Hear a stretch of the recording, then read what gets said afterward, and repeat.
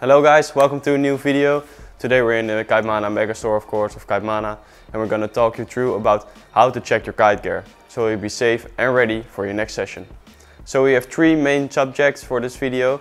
Uh, that will be the kite, the bar and the board.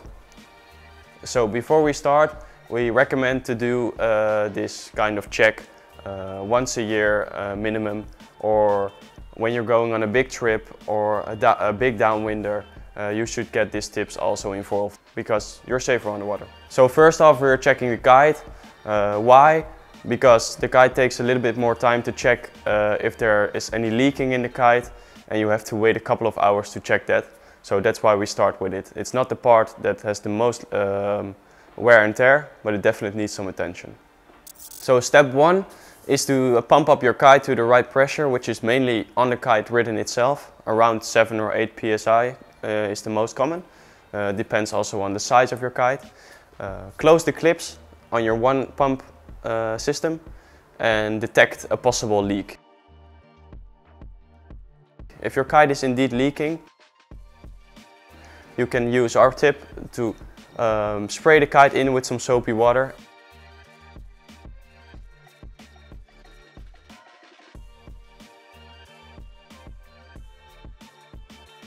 and it will uh, yeah, likely will be bubbling uh, around the leaking points.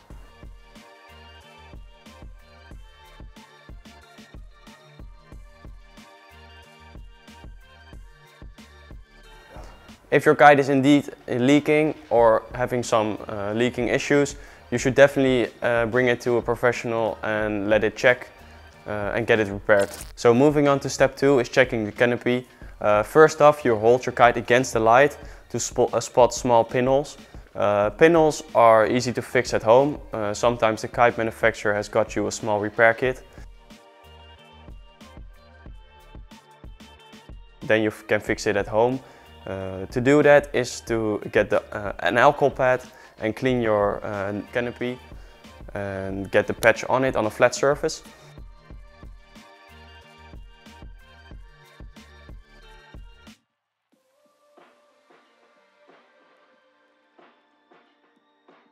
Uh, if the holes are bigger than small pinholes, you should definitely bring it to Kitemana and let it repaired.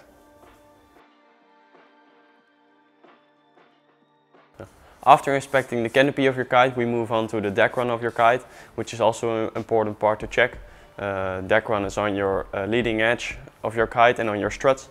Uh, leading edge is always laying on the sand, so it's likely to catch some damage when there's a sharp stone or uh, shell on the beach. Uh, so check for uh, minor damage.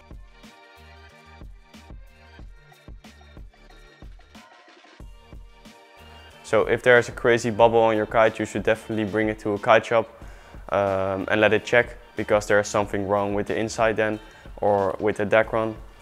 Um, and in the future it may explode, so that's not what you want. So moving on to the next step, step three, um, is checking your bridles. Uh, checking your bridles is especially important when you have uh, moving bridles with a um, pulley on it. Um, bridles with a pulley uh, tend to wear out uh, faster than without, uh, so check them for extraordinary wear.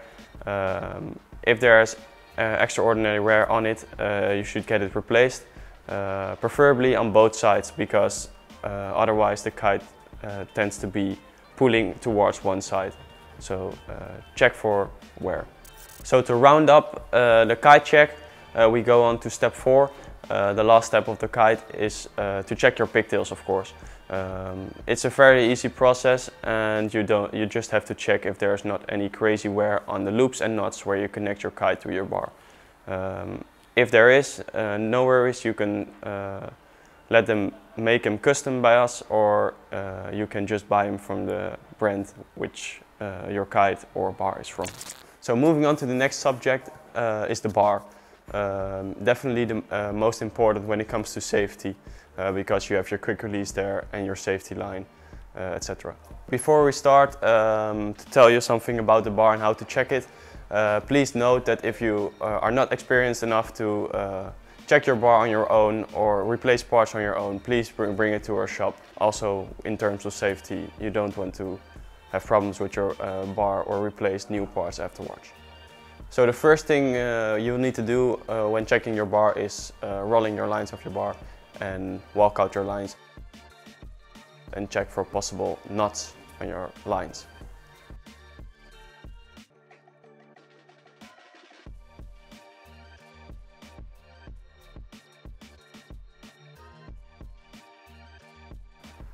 If you spot a knot on your lines, um, any of four or five of your lines, uh, you should uh, get it out as quickly as possible because your lines are tend to be 50% uh, less strong uh, than without a knot in it. So take it out as fast as possible.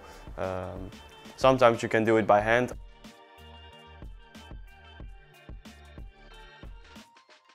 Or uh, you can chew on it. Sounds a bit crazy, but um, it will work and the line will not get damaged. Little tip, uh, the most knots uh, which are possibly in your lines uh, are on the upper side of your lines where your uh, pigtails connect to your kite because there's a lot of movement when rolling up your lines. So moving on to step three is the quick release, checking the quick release, uh, which is very simple but yet so important as all the other steps. Uh, it's just checking uh, to get it easily opened and closed uh, and if the elastic bands are working inside of the shell of the quick release. If that's the case, you don't have to do anything. So if there's something wrong with your quick release, uh, don't hesitate and come over to Kitemana for a professional opinion and we will get it prepared for you as soon as possible. So moving on to step two is checking your line lengths. It's very important to have the same amount of, of length on your four or five lines uh, because that's giving the uh, most performance out of your kite and bar. Um, if not, uh, you can have unwanted backstalling in lighter winds uh, and you won't have the same performance of your kite and bar. So to check the difference on your line length, uh, you need two persons and a screwdriver. So walk out your lines, connect them to the screwdriver, uh, get one person on the screwdriver side and another person on the bar side. Make sure that your bar is on full power um, and your quick release is like this, fully into the bar, which makes the line lengths easy to check. If your lines are even on the video shown here, uh, then it's alright, you don't have to do anything. If they're uneven like this,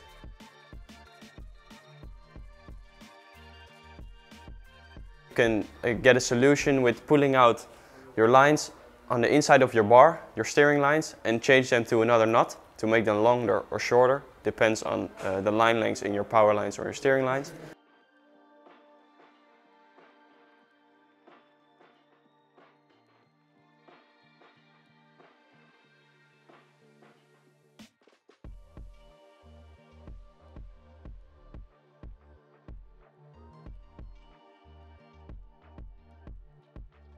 If there's difference in your line lengths and you cannot fix it with the nuts inside your bar, uh, just bring it over to Kitemana and we'll help you out.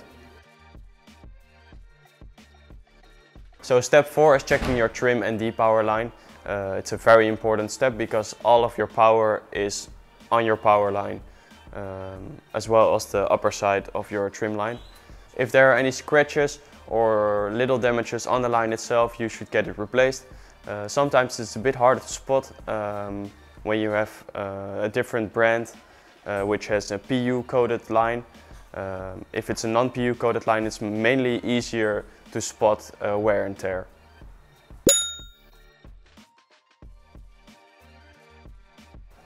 So if you spot a minor damage or a big damage uh, on your trim line or depower line itself, um, and there is a video online of it, you can repair it, repair it on your own. Uh, if that's not the case, uh, you can co contact us at Kitemana uh, and we can get it prepared for you as well or get you the right uh, replacement part. So a little note, if you have a click bar and want to check your depower on the inside because it's all integrated, uh, you can open up the sides uh, and check for sand and possible wear and tear on the line which is going through your bar. Um, you can check that after a couple of sessions or half a year uh, which feels good for you. Uh, we should recommend to do it like in about 20 sessions. Uh, also, when you rinse your bar, not all the sand will go out of your bar, so get it, get the sand out and check the line. so you're safely on the water for your next session. So a little pro tip from us is when you're rolling up your bar with a PU coated uh, line, don't wrap it around your bar and make sure it's free hanging under the bar or it will be likely to be curved or damaged uh, quicker.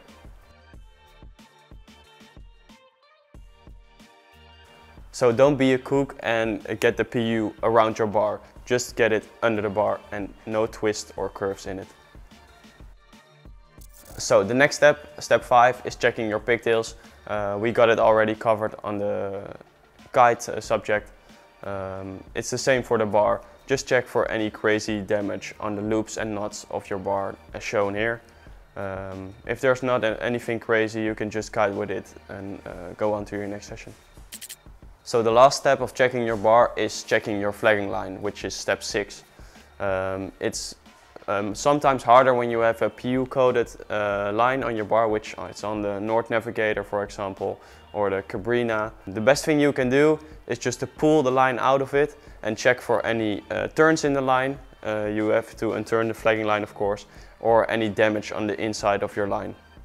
Uh, if that's all right, you're good to go. Otherwise, uh, it's likely that you have to get a replacement part. So the last subject that we do is checking your board. It's probably the easiest, uh, but also the most overlooked.